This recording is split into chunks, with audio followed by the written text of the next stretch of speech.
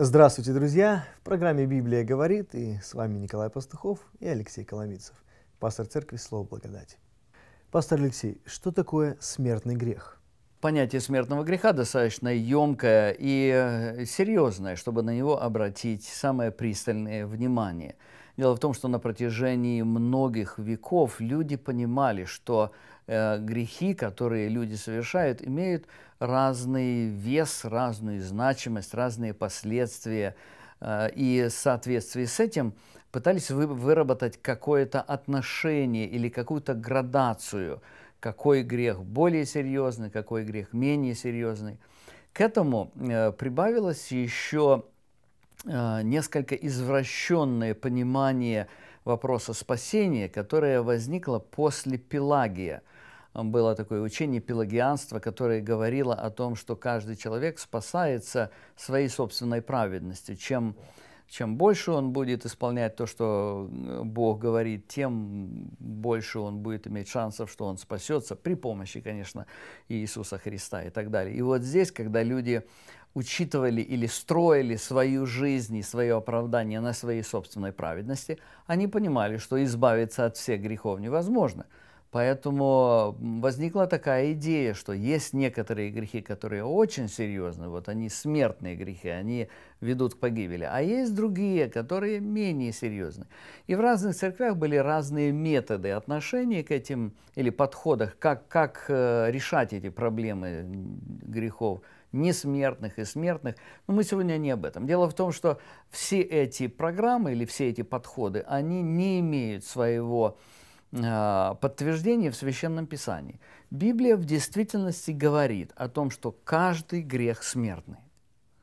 Откуда это взято? Очень просто. В Священном Писании ясно сказано, послание к римлян, 6 глава, 23 стих. «Ибо возмездие за грех – смерть» написано.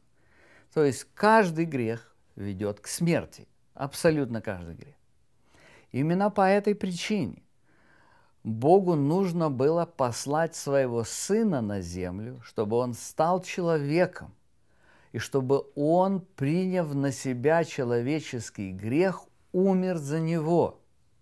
Вот почему недостаточно было просто Христу прийти и пострадать, и сочувствовать людям.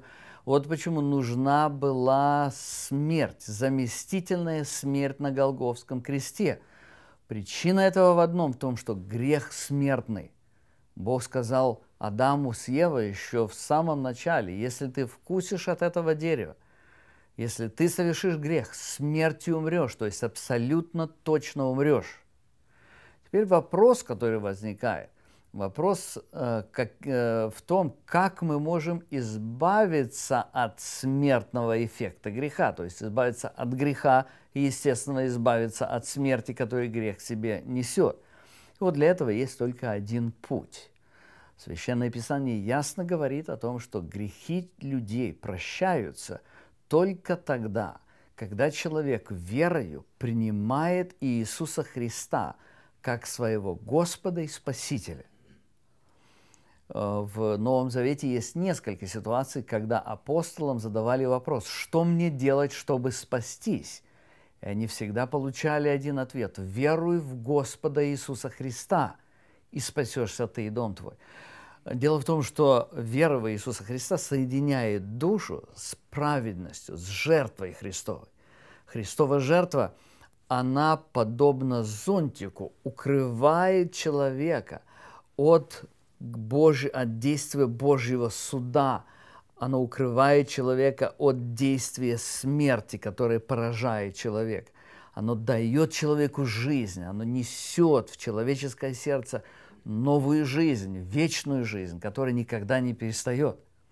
Так вот, исходя из этого, мы можем сказать, что единственная причина, почему люди будут наследовать вечную смерть или вечную погибель, единственной причиной является то, что они не уверовали в Иисуса Христа как в личного Спасителя.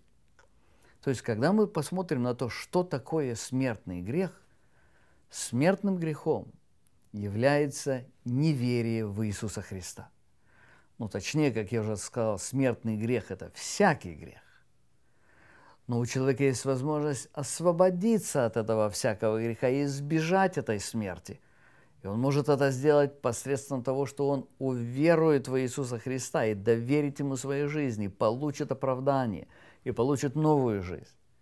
Но тогда, когда этого не происходит, то самым главным грехом, который является причиной того, что все остальные грехи остаются в действии в жизни человека, самым главным таким грехом является неверие.